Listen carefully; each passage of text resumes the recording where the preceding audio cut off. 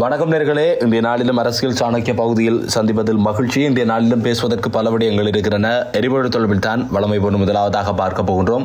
QR முறையில் விநியோகிக்க எரிபொருள் பற்றாக்குறை காணப்படுவது பாரிய பிரச்சனையாக இருப்பதாக தெரிவிக்கப்படுகிறது.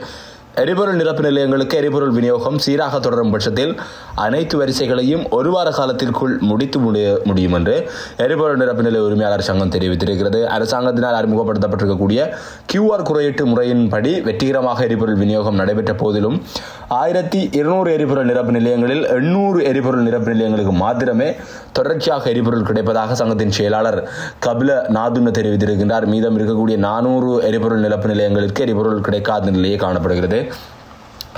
புதிய முறையின் மூலம் எரிபொருள் நிரப்பு நிலையங்களில் இருந்து சட்டவிரோதமாக எரிபொருளை விடுவிப்பது இயலாது எனவும் எரிபொருள் நிரப்பு நிலையங்கள் இந்த முறைப்படி அனைத்தையும் செய்வதற்கு தயாராக உள்ள போதிலும் எரிபொருள் தட்டுப்பாடு பெரும் பிரச்சனையாக மாறியுள்ளதாகவும் அவர் கூறியிருக்கின்றார். அதேபோல் இந்திய நாளின் மாலை வழியில் வெளிவந்திருக்கக்கூடிய ஒரு செய்தி இன்றைய நாளில் இரண்டு கப்பல்கள் மூலமான டீசல் இறக்குமதி செய்யப்பட்ட டீசலானது நாடு பூராகவும் விநியோகிப்பதற்குரிய அந்த எண்ணெய் குதங்களுக்கு அனுப்பப்படுவதாகவும் தெரிவிக்கப்பட்டிருக்கிறது ஆகவே டீசல் இனி வரக்கூடிய நாட்களில் ஒரு அடுத்த கிழமைக்கு தேவையான டீசல் இரண்டு கப்பல்களில் வந்திருக்கும் என்று கூறப்படுகிறது. ஆகவே டீசல் தட்டுப்பாடு ஓரளவு இரண்டு மூன்று வாரத்திற்கு நிவர்த்தி செய்யப்பட்டிருப்பதை நாங்கள் சொல்லக்கூடியதாக இருக்கிறது. அதேபோன்று போன்று கடந்த மாதம் பத்தாம் திகதி அளவில் நாடளாவிய ரீதியில் ஏற்பட்டிருக்கக்கூடிய பெருமளவிலான அசௌகரியங்களில் பல்வேறுபட்ட அரசு சொத்துக்கள் எல்லாம் சேதப்படுத்தப்பட்டிருந்தன. குறிப்பாக ஜனாதிபதி மாளிகை போராட்டக்காரர்கள் வசமாகியது ஜனாதிபதி செயலகம் போராட்டக்காரர்கள் வசமாகியது தற்போதைய ஜனாதிபதி ரணில் விக்ரமசிங்கவின் வீடு தீக்கிரியான சம்பவங்கள் எல்லாம் பதிவாகிய போதும் இந்த ஜனாதிபதியினுடைய மாளிகையில் பல்வேறுபட்ட விதமான உல்லாச விடுதிகளில் ஆத்தல் எடுத்த அத்தனை பேரும் கைது செய்யப்பட்டிருக்கின்றார்கள். இன்றைய நாளிலும் கோட்டா கோகமவிற்கு கோட்டா கோகமவில் முன்னின்று செயற்பட்ட ஒருவர் கைது செய்யப்பட்டிருக்கின்றார். அதேபோன்று கோட்டாவின் பீர் குவளையை திருடியவரும் கைது செய்யப்பட்டிருக்கிறார் இந்த விடயங்களை பார்ப்போம். அதற்கு முன்பதாக கோட்டா கோகமவிற்கு வெள்ளி வரை காலக்கெடு விதிக்கப்பட்டிருக்கிறது.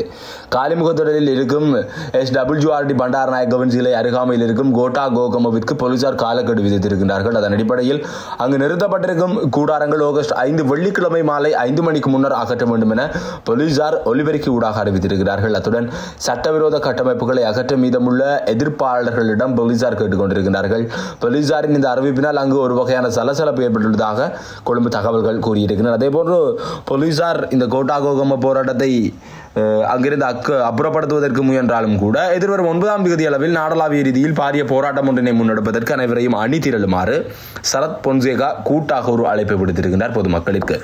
அந்த விடயத்தையும் ஞாபகப்படுத்திக் கொண்டு இன்றைய நாளில் ஆசிரியர் தொழிற்சங்கத்தின் தலைவர் ஜோசப் ஸ்டாலின் கைது செய்யப்பட்டிருக்கிறார் இலங்கை ஆசிரியர் சங்கத்தின் பொதுச் செயலாளர் ஜோசப் ஸ்டாலின் சற்று முன்னர் போலீசாரால் கைது செய்யப்பட்டிருக்கிறார். நீதிமன்ற உத்தரவை மீறி போராட்டம் நடத்தியதற்காக அவர் கைது செய்யப்பட்டிருப்பதாக கூறியிருக்கின்றார்.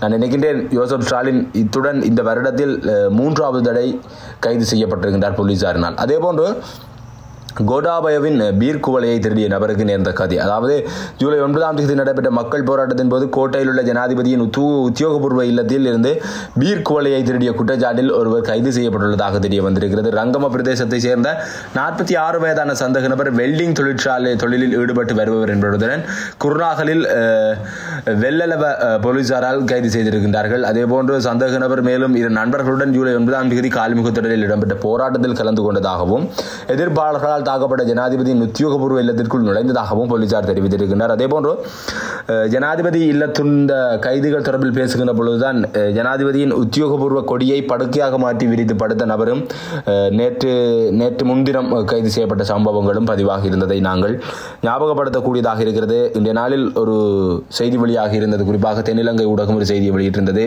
அண்மை நாட்களில் இடம்பெறும் கைதுகள் எல்லாம் எதிர்வரும் ஒன்பதாம் திகதி இடம்பெறப் போகின்ற பாரிய போராட்டத்தில் இளைஞர்கள் குழு ஈடுபடுவதை தவிர்ப்பதற்கான ஒரு எச்சரிக்கை மணியாகத்தான் இருக்கும் என்கிற வகையில் அந்த செய்தி அமைந்ததையும் நாங்கள் சொல்லக்கூடியதாக இருக்கிறது. இவைதான் தற்பொழுது வரை வெளிவந்திருக்கக்கூடிய முக்கிய பிரதான செய்திகளாக இருக்கின்றன. இவை தவிர ஏனைய பிரதான செய்திகளை எங்களுடைய இரவு நேர செய்திகளில் எதிர்பாருங்கள். தொடர்ந்து இணைந்திருங்கள். நன்றி. வணக்கம்.